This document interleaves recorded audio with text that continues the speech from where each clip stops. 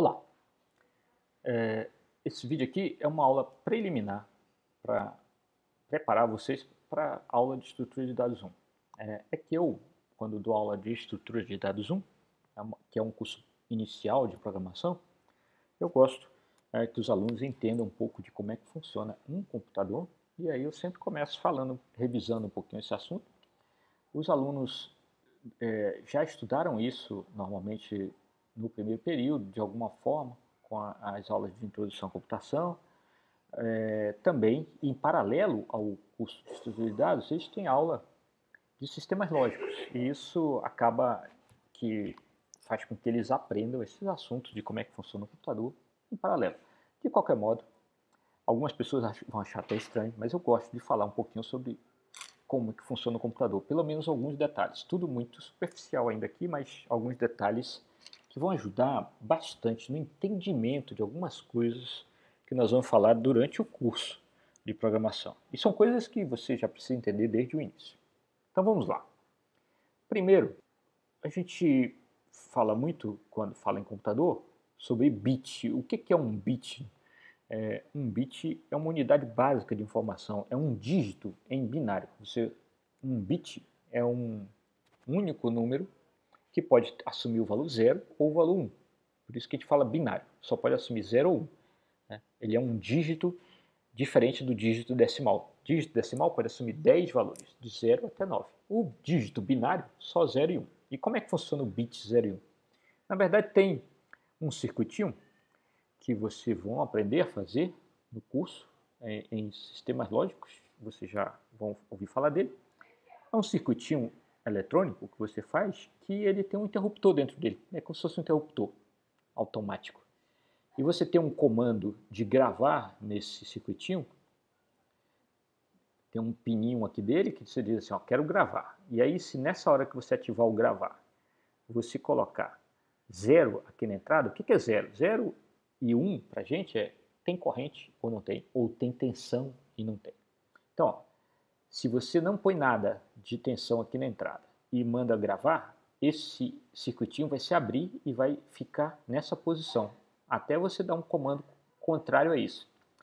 Isso significa o quê? Ele tem um, uma, uma, fonte de alimentação aqui, como se fosse uma bateria, uma pilha ligada aqui o tempo todo nele, e do outro lado vai estar tá saindo nada, vai estar tá saindo zero, desligado. Desligado por quê? Porque o interruptor está aberto.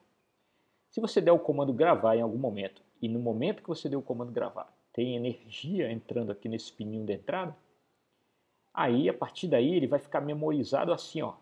Significa que se você olhar o que, que tem na saída, tem 5 volts na saída, tipicamente, que tem corrente na saída, inclusive, tem tensão, e isso significa que ele está ligado. Ou seja, o circuitinho básico do computador, ele consegue gravar posições de aberto, desligado, ou seja, mesmo ele ligado na tomada, não tem energia na saída dele, aqui no pininho de saída dele, no pino de saída, e ele pode estar na posição ligado, quer dizer, tem, saída, tem energia na saída dele. Aqui.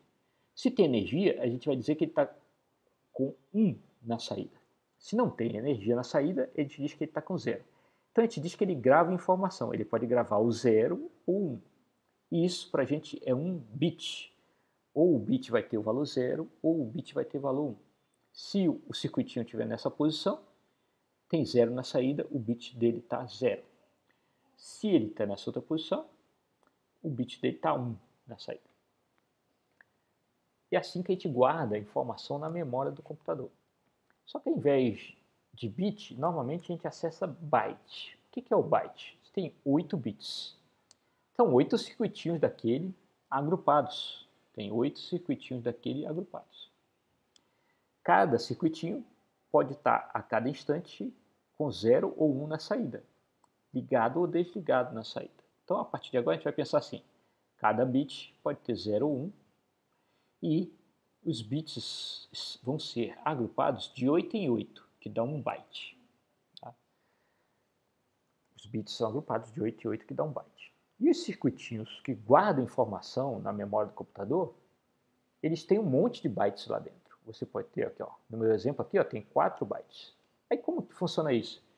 Tem um seletor que diz que byte vai estar ligado à saída dos pininhos aqui do circuito. Então é um circuito que aqui fora, nesse meu exemplo, só tem oito perninhas, cada uma delas é um bit. E ele só tem um byte de saída aqui. E a cada instante você pode ter conectado nessa saída um dos quatro bytes que tem aqui no meu circuito. Como funciona isso? Tem um seletor. É um circuito seletor. Esse circuito seletor, se você escrever zero aqui, ele vai escolher um dos bytes. Vamos chamar esse byte aqui de zero, é o zero zero. Se você põe zero aqui e zero aqui, ou seja, sem, sem tensão aqui, sem tensão aqui, zero volt, zero volt, e aí ele vai, é como se ele chaveasse, ligasse esses bits aqui nessas saídas. Cada perninha aqui está ligada a um desses bits. Com isso, se eu ponho 00, esse número que está aqui gravado, ó, 1, 0, 1, 0, 0, 0, 1, 1, vai aparecer aqui exatamente na saída. Se eu mudar o endereço, aí vai ter outro conjunto de bits, outro byte ligado à saída. Isso é assim que funcionam as memórias do, do, do computador. memória RAM funciona assim. Você diz é, num barramento que a gente chama aqui, num conjunto de pinos, conjunto de pinos é o barramento. No barramento de endereço, você diz qual o byte que você quer selecionar para ver aqui na saída. E ele também tem aquele modo gravar na memória, do mesmo jeito que tem no nosso exemplo anterior. Se você acionar o modo gravar, e colocar o endereço zero, o que tiver escrito aqui vai aparecer aqui. Então, por exemplo, se eu ponho tudo zero aqui nesses pininhos e aciono o modo gravar e ponho tudo zero aqui nesses pinos aqui, então eu vou desligar todos esses bits desse conjunto. Vai ficar tudo zero. Notem que agora eu estou usando os mesmos pinos para entrada e saída de dados. Se eu ponho o modo gravar, o que tiver escrito aqui por exemplo, está tudo zero, vai estar tá tudo zero aqui. Se tiver o modo gravar e tudo um aqui, vai estar tá tudo um aqui. Se tiver o modo gravar, tudo um aqui, mas o endereço aqui é 1, 1, então quem vai ser alterado é esse cara.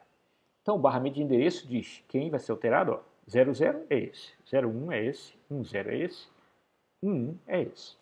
E o barramento de dados me diz é, me conecta com o endereço que está setado aqui. O barramento de dados é conectado ou a esse, ou a esse, ou a esse, ou a esse.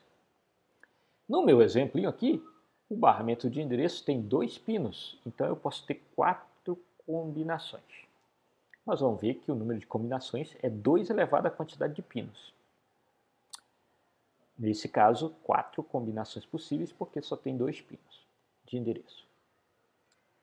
No computador que a gente usa hoje em dia, os barramentos de endereço têm tipicamente 64 pinos. Sim, 64 pinos. Ou seja, você tem 2 elevado a 64 possibilidades de endereço de memória para acessar. Isso dá aproximadamente, arredondando aí, 4 bilhões ao quadrado. Então, é um número bem grande. Tá? 4 bilhões ao quadrado na verdade, é, 32 pinos dá o que a gente chama de 4 GB, vamos já ver isso, e quando você tem 64 pinos, dá 4 bilhões vezes 4 GB, é como se você pudesse colocar 4 bilhões de vezes 4 GB de RAM. Nota então, meu barramento de endereço serve para dizer qual byte da memória eu vou acessar. Minha memória no computador também é um conjunto de bytes, igualzinho a essa memória que a gente viu aqui, ó, conjunto de bytes. E você também tem um seletor aqui dentro da memória que diz qual a posição da memória que você vai usar. Se o barramento estiver todo zerado, é o, é o primeiro byte que vai ser acessado. Se tiver o número 1 num dos pinos e 0 nos outros, aí é o segundo byte e assim vai. Até o último byte, que seria tudo 1. Então a memória pode ser endereçada. Eu digo qual o endereço, qual o byte que eu quero mexer, ler ou escrever, usando barramento de endereço. E toda vez que eu seto um endereço, ou eu vou ler ou gravar informações que estão aqui nesses pinos do barramento de dados. O barramento de dados do, dos computadores de hoje também tem tipicamente 64 pinos. que 64 bits quer dizer que você pode acessar até 8 bytes de uma vez. Esses bytes são sempre acessados de maneira contígua, ou seja, se eu ponho zero aqui no barramento de endereço, vai aparecer para mim do byte 0 até o byte 7, os 8 primeiros bytes do computador. Se eu ponho é, o byte 8, eu já vou do byte 8 até o 16, e assim vai. Então eu posso gravar ou ler até 8 bytes de uma vez nos computadores de hoje. É, pelo menos nesse, nesse computador aqui do meu modelo, que tem um barramento de dados de 64 pinos, eu posso ler ou escrever 8 bytes de uma vez. Tem arquiteturas que permitem você grave ou leia mais bytes ainda de uma vez. Estou dando aqui um exemplo que seria o típico do processador hoje, acessando a memória RAM do seu computador. Tipicamente hoje, tem 64 pinos para dizer qual é o endereço e 64 pinos de dados. Então você põe no endereço qual byte que você quer, o 0, o 1, o 2, o 3, o 4. Isso, isso, isso é um número formado com os bits de endereço aqui, do barramento de endereço. E você usa o outro barramento de dados é, para acessar a informação. Aqui ó, é um processador, o Intel Core i9. E Onde estão os pinos dele? Você olha para o processador, se você abrir sua placa-mãe, você não vai ver esse monte de pino de dado, de endereço, mas eles estão aqui. Eles e outros pinos de controle, de ligar ali na tomada, né? vamos pôr assim entre aspas, que é ligar ali na corrente para ter tensão, etc. O processador estão aqui. Cada amarelinho desse aqui é um pino. Os computadores de hoje têm tanto pino que antigamente os pinos ficavam aqui umas perninhas que você via no computador. Agora eles ficam escondidos aqui embaixo para você ter mais área para pôr pino. Né?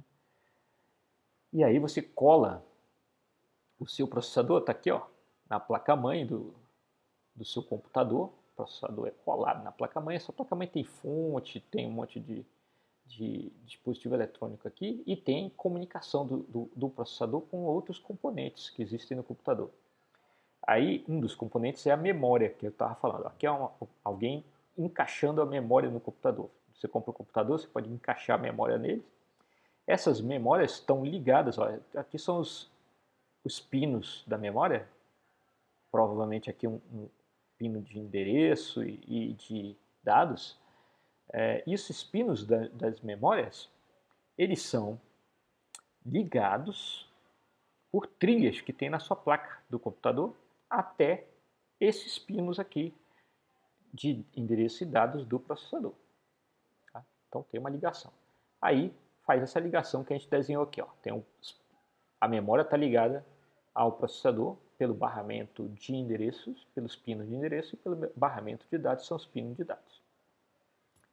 E aí, quantos endereços eu consigo colocar é, se eu tenho 64 pinos de endereço? Eu vou poder formar números assim, ó, desde esse número aqui, que é o tudo zero, aí o seguinte é o 1, o 2 e eu posso continuar contando aqui. E isso me dá um total de combinações que é 2 elevado a 64. Por isso que eu falei é esse número grandão, é cerca de, isso aqui é aproximadamente 4 bilhões ao quadrado. Arredondando aí. É uma quantidade de bytes significativa que você pode pôr num computador hoje. Né? Ah, para vocês terem uma ideia, eu já programei em computador que o barramento de endereço deles era de 16 pinos. Isso só me permitia 65 mil posições, ou seja, só dava para pôr até 65 mil bytes. Hoje ele já tem 3, 4 gigabytes de RAM. Gigabyte. Fala giga, aproximadamente bilhão. Então, 3 bilhões de bytes num celular, tipicamente hoje, pode ter até mais.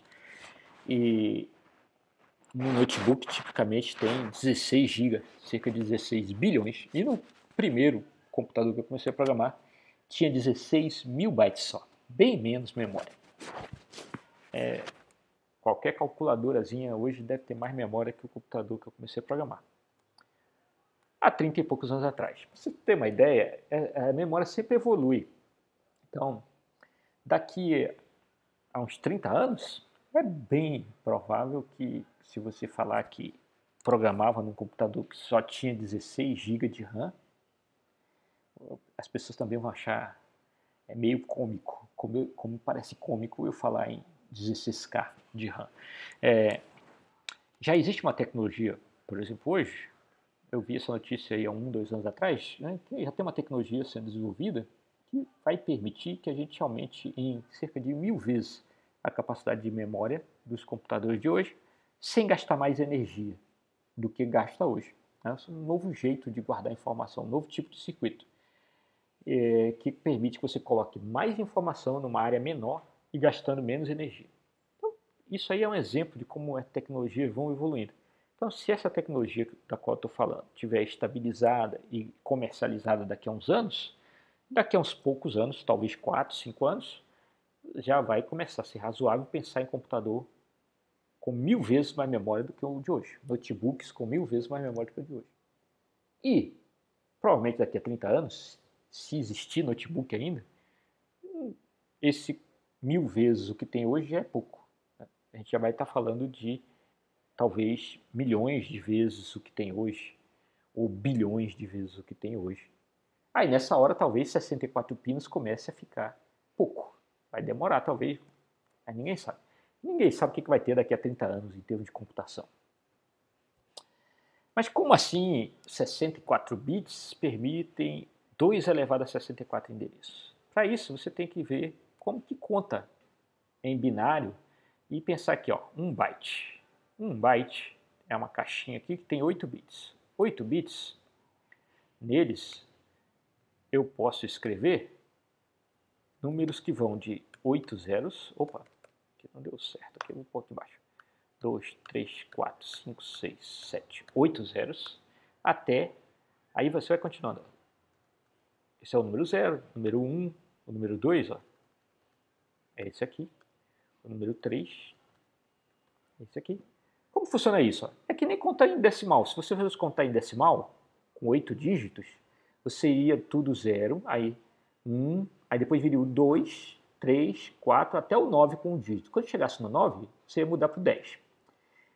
Pensa que é isso, só que eu não tenho mais do 0 até o 9 para contar, só tenho do 0 até o 1. Então eu conto 0, 1, opa, acabou os números. Então eu passo para dois dígitos, sobe um aqui e vira um 0. Aí, 1, 0, 1 chegou aqui, ó, esse dígito final aqui, ó, tem que virar zero. Aí vai um para cá. Só que esse aqui já está um. Um mais um não dá. Aí vai zero e vai um para cá. Então fica assim. Aí depois continua. Um, zero, um. Um, um, zero, um, um, um, e assim vai. Se você olhar, ó, com um bit, vamos ver aqui isso aqui, com um bit, com um bit, eu só posso guardar o número 0 e o número 1. Um. Dois números possíveis ó, com um bit. Se eu olhar para dois bits, eu posso gravar 0, 1, 2, 3. Esse é o 3.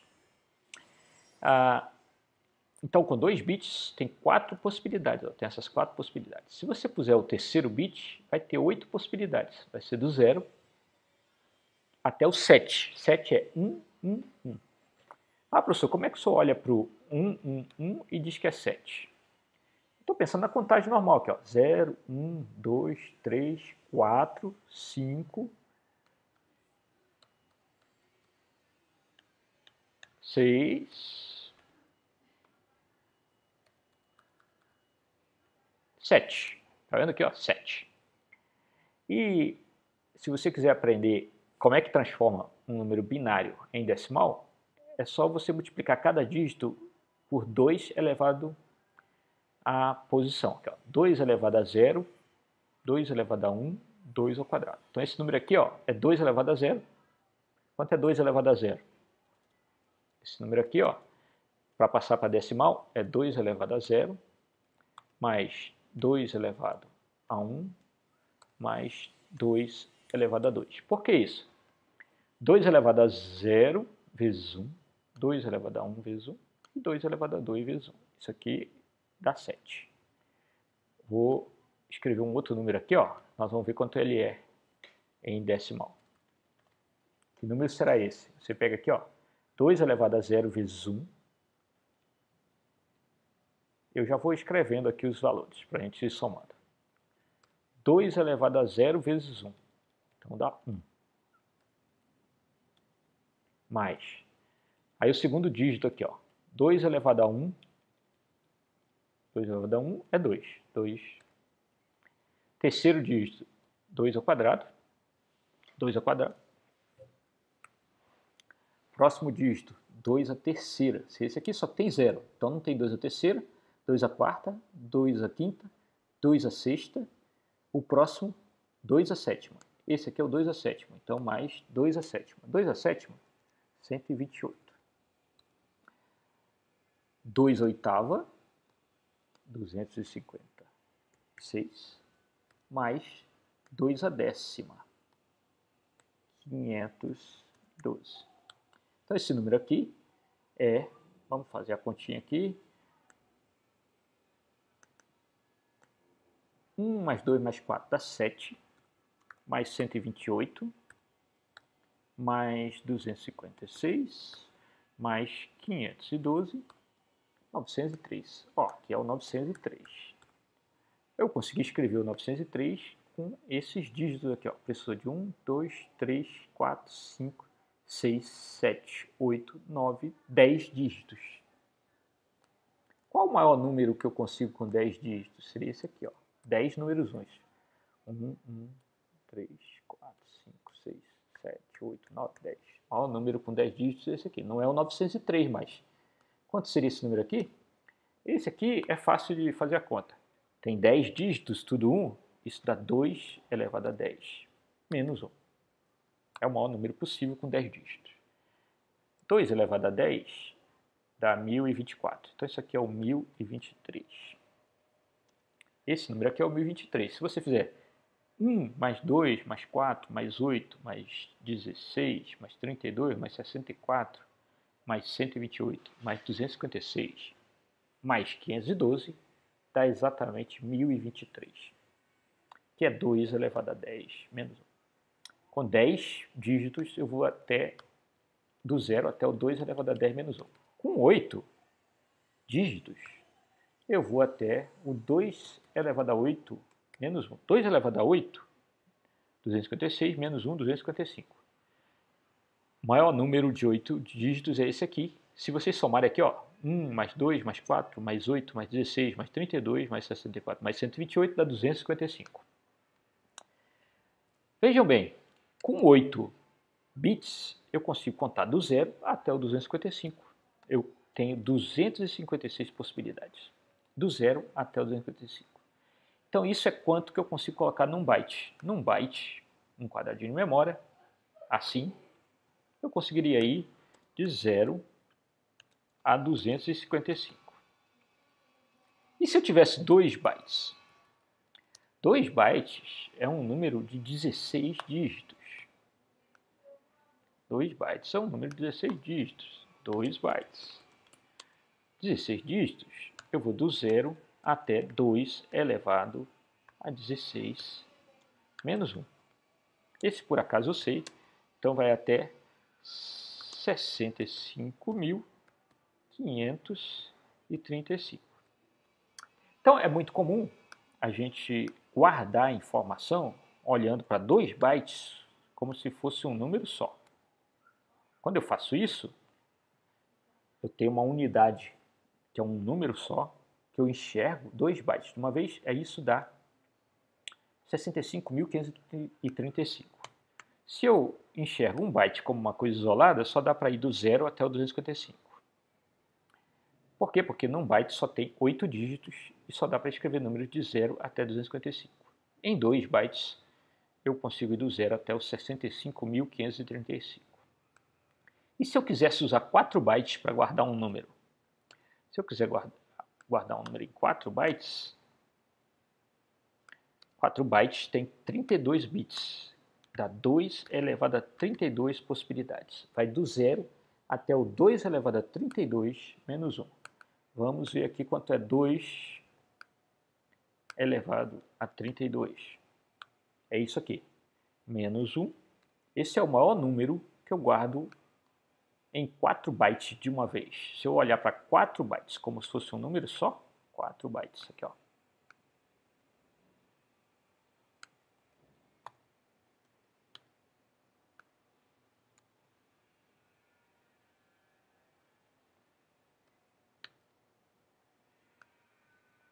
Se eu pego 4 bytes, aí tem 32 bits. Com 32 bits, eu posso formar números de 32 zerinhos até 32 uns. E as combinações no meio do caminho dão exatamente 2 a 32 combinações, que é do 0 até o 2 a 32 menos 1. Que número que deu? Está aqui na calculadora, o maior número possível. É esse aqui. Então, o maior número de 4 bits seria isso aqui. Eu vou mover aqui essa figurinha só para a gente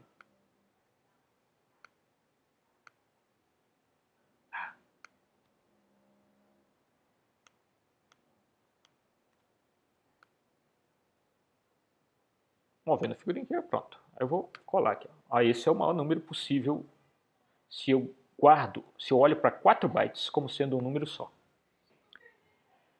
Esse aqui é 4 bilhões, 294 milhões e etc. Isso aqui é o famoso 4 GB. Isso aqui é 4 GB. Que eu falo para vocês aí, 4 GB, aproximadamente 4 bilhões. Na verdade é 4 bilhões 294 milhões 967 mil 296. Isso é 4 GB.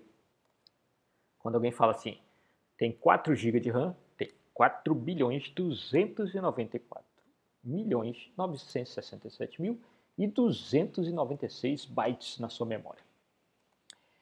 Ah, é, se eu tenho um barramento de 4 bytes, eu tenho essas possibilidades. E se eu tenho uma variável, o que é variável? Se eu tenho uma posição na memória, na verdade. E se eu tenho um agrupamento de 4 bytes na memória que eu quero enxergá-los como um número só, eu posso guardar lá dentro até esse número aqui. Vejam bem, esse número é um número já bem útil. A população do Brasil cabe aí dentro. Se você pegar a população de, de qualquer país, ainda cabe aí dentro. Não tem nenhum país com mais do que isso de gente. Mas se você fizesse a população do mundo, aí não cabe mais numa, num, num punhado de 4 bytes. Ah, aí as pessoas costumam até usar é, 8 bytes. 8 bytes, 64 bits. Aí pode ir até 2 a 64 combinações. 2 a 64 combinações é aproximadamente, ou melhor, é exatamente o quadrado de 4 GB. Tá? Então é isso aqui vezes isso aqui. 4 GB vezes 4 GB, ou seja, cerca de 4 bilhões de vezes 4 GB.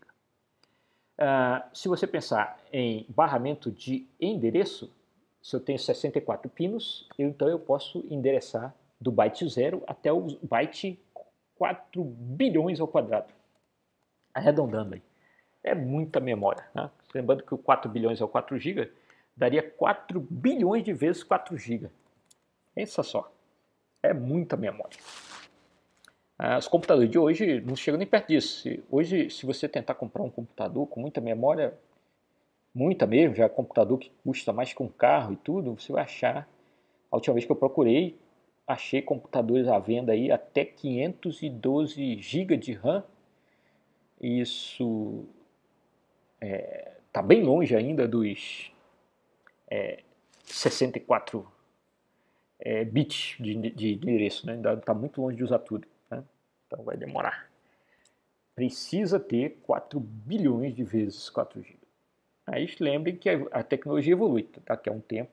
Eu lembro quando eu trabalhava com computadores de 16 bits de endereço e aí passaram para 32, todo mundo ficou assim, poxa, quando que vai acabar, né? Esse 32 bits é muita coisa. Quando é que vai ter um computador de 4 GB? Né? Parecia sonho. Né? Quem trabalhar com computador de kbytes, pensando em é, gigabytes, era muita coisa. E ó, hoje nós estamos aí, o meu, meu notebook já tem 16 GB. 30 e poucos anos se passaram. Daqui a uns 10 anos, o computador vai ter mil, 10 mil vezes a memória de hoje. É bem impossível. Um notebook vai ter 10 mil vezes a memória de hoje. E daqui a uns 30 anos, 64 pinos pode ser pouco para endereçar todos os endereços de memória. É lógico que daqui a 30 anos ninguém sabe que tipo de computador que vai existir. Né? Então a tecnologia pode mudar muito. Pode ser que não guarde mais bit, pode ser que guarde outro tipo de informação, sei lá. Mas é isso aí para vocês terem uma ideia da evolução. Então vejam bem, com um byte, com 8 bits, eu consigo números de 0 a 255 com 2 até 65.535 com 4 até 4 bilhões 294 mil 294 milhões 967 mil e 295 e com 64 já dá números gigantescos. Pensando também em usar 1 byte, 2, 4, 8 bytes para guardar informação, né, você pode formar números gigantescos com 8 bytes. Dá para guardar toda a população do mundo tranquilamente e, e, provavelmente até o fim do mundo. A população do mundo nunca vai chegar a 4 bi ao quadrado aqui no nosso planeta. Não cabe tudo isso de gente. É, então, com certeza, se você quer uma variável para guardar uma variável é uma porção de memória para guardar a população do mundo, 8 bytes dá e sobra, né? 64 bits. Ok? Então vejam só, nós temos um, esse primeira aula preliminar aqui, a gente sabe que a memória do computador é um punhado de bytes. Cada byte tem um endereço. Tem o byte 0, o byte 1, o byte 2, o byte 3, são os endereços dele. E dentro de cada byte existe o conteúdo que está gravado lá. Pode ter um número 0, um número 1. Um.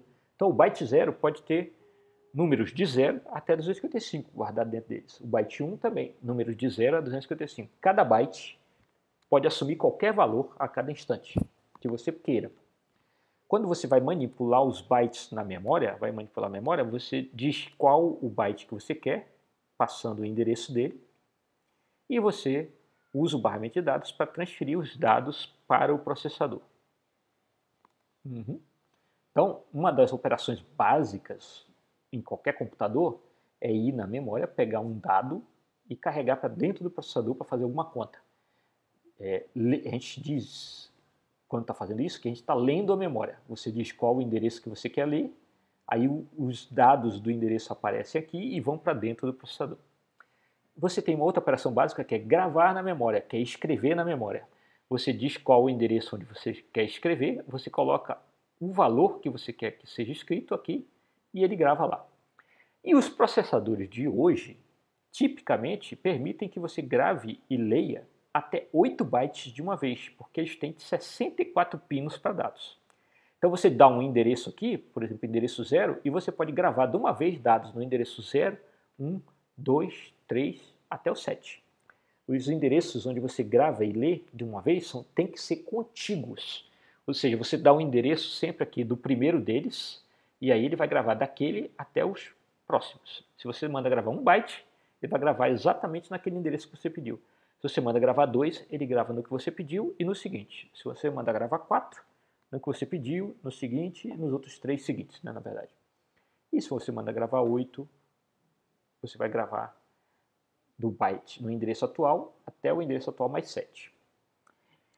Ah, professor, por que você está falando gravar um byte, gravar 2, gravar 4, gravar 8? É porque os processadores eles só têm comandos para você escrever 1, 2, 4 e 8 bytes. Isso tem a ver com o custo para implementar os comandos do processador e tudo. Então, tipicamente, ele só deixa você escrever 1, 2, 4 ou 8 bytes é, nos comandos de gravar e ler ao mesmo instante. O hardware dele foi feito para isso, tipicamente é assim. Isso vocês vão aprender as razões nas aulas de arquitetura de computadores, organização de computadores. É, vocês vão entender o porquê dessa decisão de gravar ou ler 1, 2, 4 ou 8 bytes. Sempre múltiplos de 2, uma potência de 2. Né? Ah, nós vimos aqui que com 64 pinos eu posso escolher até 2 elevado a 64 endereços para gravar e ler na minha memória. Então, se eu tiver memória para tudo isso, posso endereçar essa memória toda. E a cada vez que eu escolho um endereço, o dado correspondente àquele endereço vai aparecer aqui no barramento de dados para ser lido para o processador. E tem duas operações básicas que nós vamos fazer durante os nossos programas, que é gravar na memória e ler da memória. Nós vamos ver isso depois. Com essa primeira aula preliminar aqui, eu falei um pouquinho de como é que a informação é guardada dentro do computador. Agora eu só falei sobre números, porque o computador só guarda zeros e uns e só números é, de zero em diante. Estão só os inteiros é, não negativos que são gravados até agora no computador. E aí você pensa, como que eu gravo números negativos? Como que eu gravo números reais como 3,45? Eu vou falar disso no vídeo seguinte. Não só isso. E como que eu gravo o nome de uma pessoa dentro do computador? O computador não grava nome de gente, não, não grava imagens, não grava uma porção de outro tipo de informação? Só para vocês saberem, tudo vira bit, tudo fica guardado em bytes. Seja imagem, foto, vídeo, áudio, é, seja número inteiro, seja número real, seja nome de gente, tudo é gravado em bytes. E como é que você faz isso? Você tem convenções. Tá? Então eu posso olhar para um byte e ler um número inteiro de 0 a 255. Mas eu também posso olhar para um byte e ver números negativos e positivos dentro dele. E eu posso também olhar para um byte e ver letras dentro dele. A gente vai ver isso no próximo vídeo. Tá? Lembrando, isso são aulas preliminares para o curso de algoritmos e estrutura de dados 1. Vamos ficar por aqui.